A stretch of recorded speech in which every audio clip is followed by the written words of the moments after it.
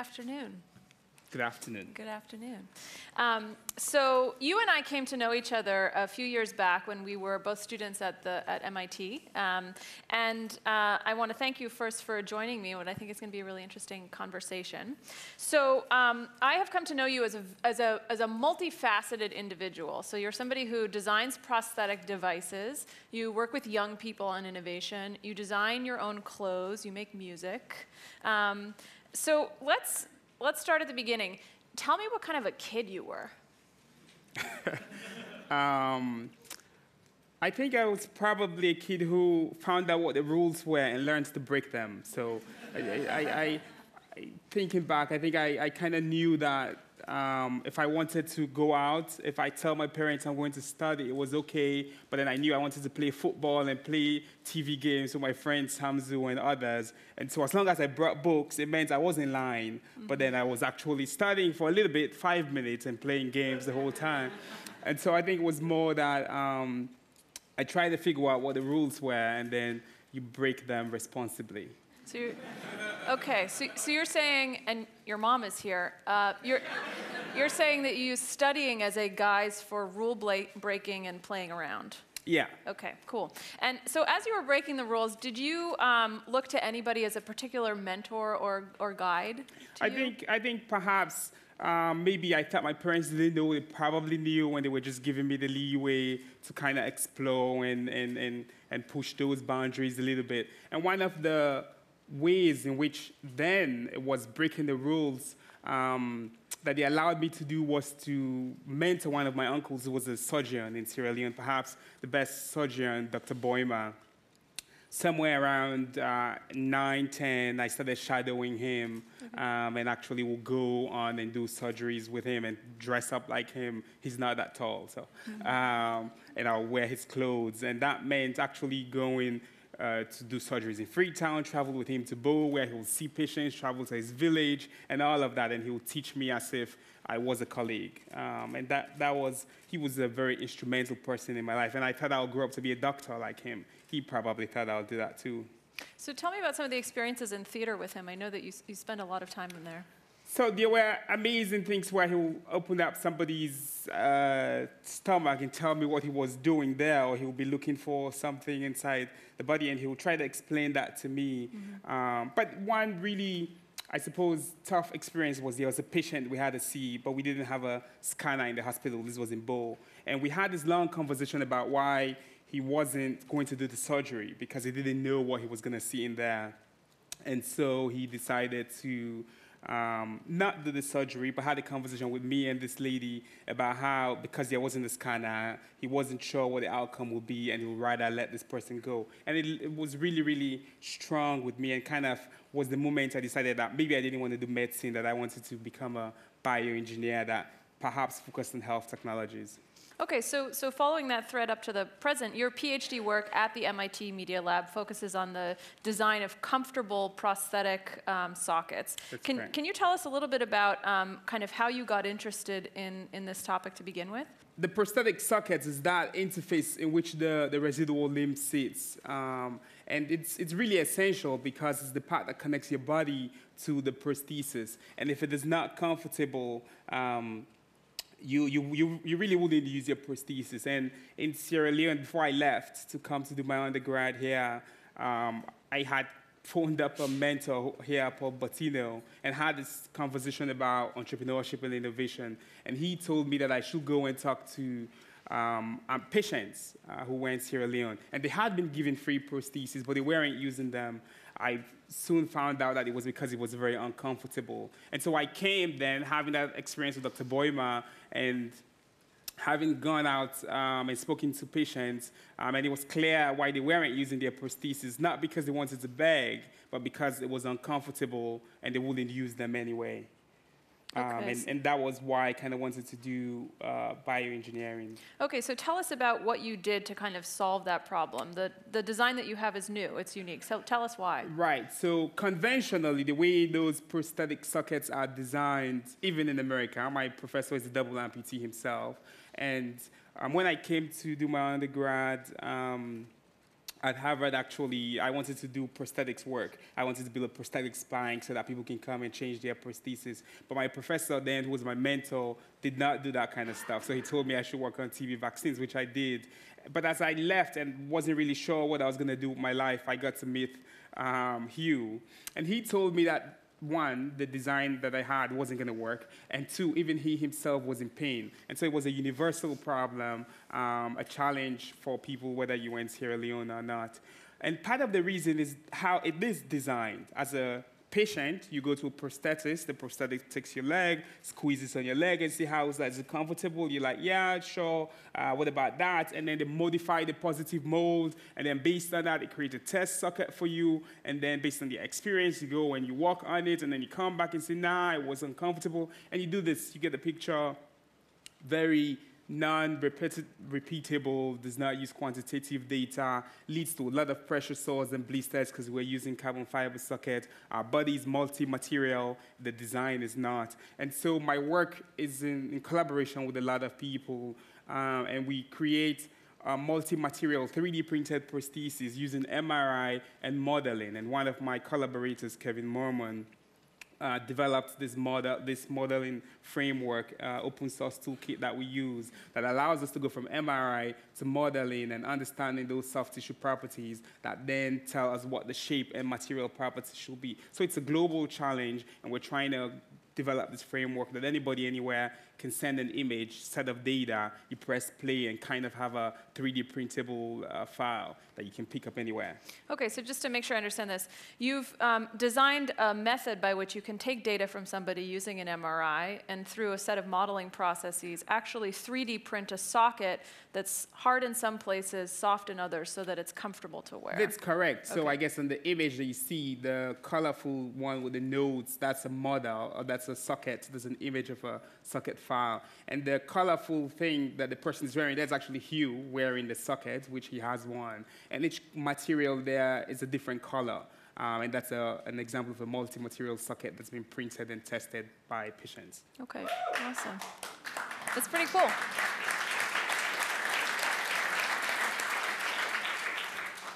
Um, so, so changing topics just a bit, as you mentioned, you're from Sierra Leone.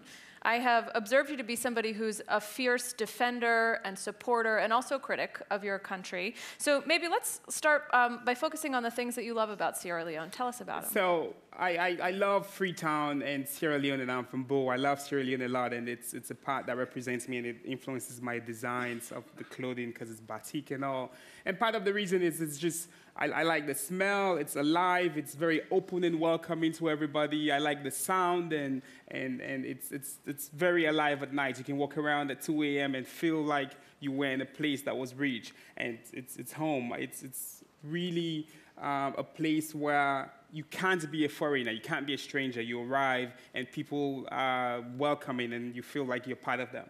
Cool. And so, by the same sort of by the same token, I've heard you express frustrations about the relationships between kind of international aid agencies um, and and your country. What are some of those frustrations? Tell us about them. So, I, I suppose because of the history, some of which uh, Clay had mentioned, um, uh, it's what what what happens is is is there's this learned dependency, and during the war, people will literally come and pay young people to attend conferences, to go and learn workshops. And so there's this learned dependency, and this is outside my house. I, I, I, spoke about the Media Lab, a place where we can all dream and a place where we can all do the, the, the invent the future. But this is what I see outside my house in Bo every day, and it literally says if we want to have development, we need to call action aid or maybe World Vision. And so we have this generation of young people who what they do is write grants that say sustainable development and uh, what, what are the words? Sensitization, uh, mobilization, uh, mobilization, whatever those words are. You learn to put them in a in a grant proposal, and that's what development is. Mm-hmm. Um, that leads to this low self efficacy and a generation of young people who are then looking for a to other people from the outside to come and help.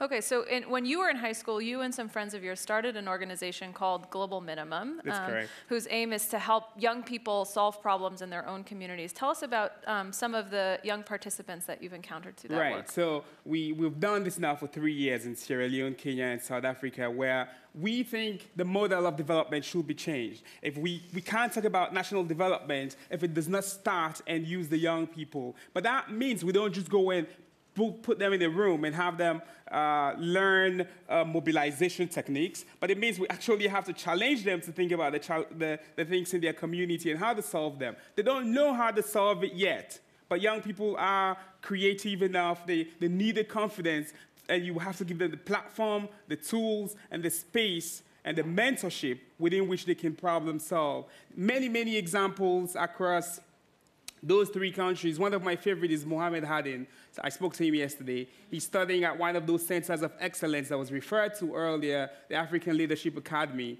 Uh, he kind of stalked me on Facebook, knew I was going home, wait for me, waited for me at my church. And I, the minute I came out, was like, hey, David, I, I, I want you to be my mentor. I want to make robots. Brought him over to hang out with us a little bit, saw the Google Glass, that's his own iteration of it, makes a product that he wants to use, which is he calls the reading glasses, which he made for himself and his colleagues, um, so that he can read at night when there's no power. He did not need me to go and do that for him. He did that all by himself. And he now today before he left, mentored lots of other young people um, with, with the fellows that we had in Sierra Leone um, who were university students as well, and started the innovation lab at one of their schools and have kind of pushed many more young people to work with them. The young lady and, in, in who's, who's um, on your right um, or on your left is, uh, is uh, Tracy, and she's from Kenya, and she's working with MIT Media Lab PhD students to develop sensors um, that will detect human, uh, humans who come to poach elephants. Now, he's not going to wait for other people to come do that. So there are tons and tons of examples like this. So all of this is happening, and then Ebola hits. Um, and um, let's talk first about the impact of that health crisis on young people. Um, so in Sierra Leone, Liberia, Guinea, schools are closed, lessons are being broadcast on the radio. Maybe um, it doesn't seem like it's it's sort of uh, meeting the need necessarily. So Global Minimum launched a kind of hack at home challenge. Can you describe why, what that is, why you guys launched that? So, so we want the world to continue with the interest that they have in, in this region, and it's a global crisis. We all need to step up to fight it. But we shouldn't do the same mistake again. We shouldn't create this dependency in our solutions that we present forward. We should figure out ways in which people like Mo Hardin, people like the kids who are in Sierra Leone are also participating. In a, in a, I think I find it almost ridiculous that in a world where we know that there is data, people have access to data, in a world where we know that there are the tools available, we can sit back and see probably an entire generation in this region not have access to school, right? Now, this is a huge opportunity to think about the future and how we can bring learning and education to an entire generation um, in, a, in, a, in, a, really creative way, besides sitting back and giving them mathematics lessons on the radio. It's a great start.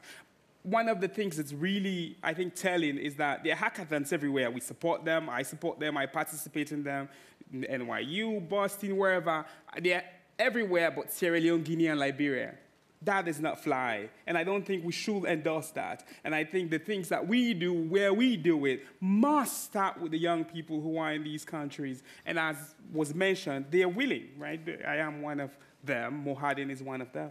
So tell us about like one of the design challenges that you've issued. Right. So I, I guess I did not actually talk about the hackathon at all. Question. But but but the the hackathon uh, is a series of design challenges. Uh, I think the last for two weeks each that the young people, we meet them where they are. They're hanging out on Facebook and WhatsApp these days um, and on the radio. And some, we have fellows who go to meet people um, in their homes. One of the challenges was to come up with your own story about, about Ebola.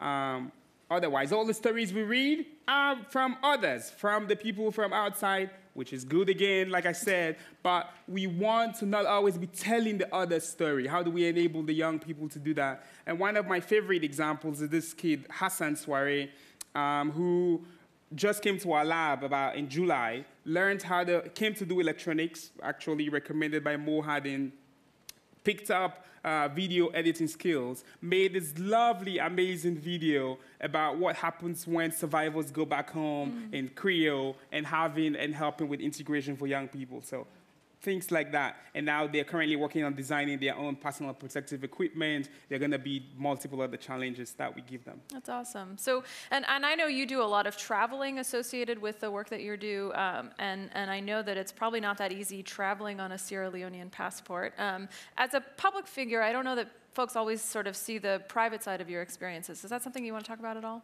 Yeah, it's, it's, I, I don't share it often, and thanks for asking. And, and, and, but, but it's the reality that it's not always, oh, the Harvard MIT grad who's sitting on the TED stage who has a TED talk. There's the part two where I, I, I arrived from Mexico just last week. Um, I was the last person on the flight because I had chosen to sit at the back so that I can sleep. I met two uh, see, uh, border customs patrol people waiting for me at the, as I exited the plane.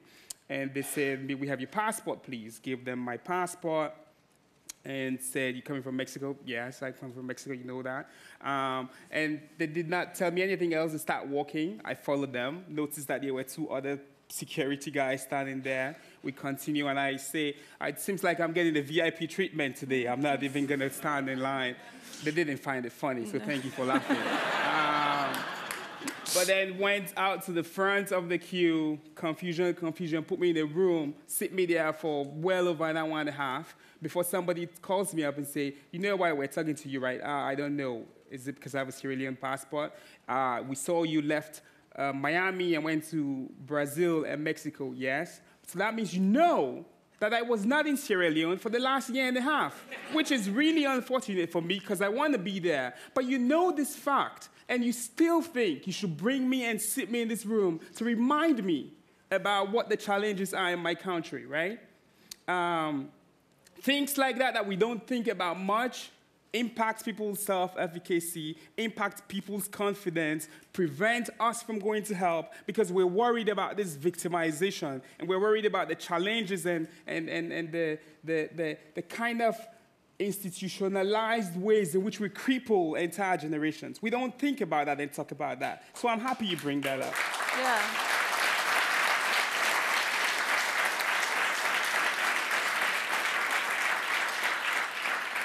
Yeah, I mean, that, that must be a tremendously frustrating experience. So I'm glad that you shared. I think it's an indication of how much more work there needs to be done. Um, I want to um, turn our attention to a topic that I know gets you excited, which is music. Um, so you make rap music. You rap in both English and Creole, which is a language spoken in Sierra Leone. And I think we're actually going to play a slice of one song now. It's called Online. So can we play the music? That's. Just drank a few beers, this won't please the bears. Nine months ain't forever. No. But I see it's us all day on my Twitter feed. I can't chat on my Facebook. No. And the logout is crazy like a dugout. I need peace at the good friend the dugout. You need peace, she said for good logout. Uh, let we go out. They check out for one minute. They check out for five minutes. Too quick. They check out for ten minutes. Too sweet. They check out for one hour. Check your Twitter, check your WhatsApp. I'm a log in Facebook, do the book you. I like it, this one, keep the follow me. Check your Twitter, check Great. So, so this gives you a little flavor. Right, yeah, right, it's right. good. It's good, right? Right.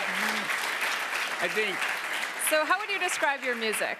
so. You remember how I said I used to break rules? One of the things that um, I did uh, was when I was about 9, 10, 11, I used to write and compete in rap battles, and, and my mom uh, might not have known about all the times when I snuck out until 3 a.m. to cut to rap at uh, nightclubs. We won't tell her. But, uh, but, but that is stuff that I did back then. And so it really is important for me that the music that I write that I'm part of um, does not use the N words or the F words, so it's not mis- misogynistic. And I, I, don't- really feel like uh, I, I want people describing my experience for me, but it also must be good. It also must be something that we enjoy and dance to. Um, and so that's, those are the kind of things that drive my message. And this one about online was playing with this, being connected, being on WhatsApp and Facebook and Twitter, but also logging off and stuff like that. Okay, awesome. So I think we're actually um, going to uh, close this discussion. You and, you and I have had some fun collaborating on some music, so we're going to close the discussion um, with our most recent song, which is called I Don't Go. Do you want to um, tell the audience what it's about? I guess it's apt as we will be leaving, but I don't go is Creole, which means uh, I have left, I've gone, I'm going. Um, it's, it's about progress, it's about movement. It also touches between this complex world of one time being a PhD student at MIT, yet being race, racially abused in, say, a DC place or at the airports by the institutions we have. It's also about being present in America, yet having my heart in Sierra Leone, um, which is there to me, and this complexity um, of progress and movement, anyway. Well, thank you for sharing a bit of your heart with us today. Thank you. Okay.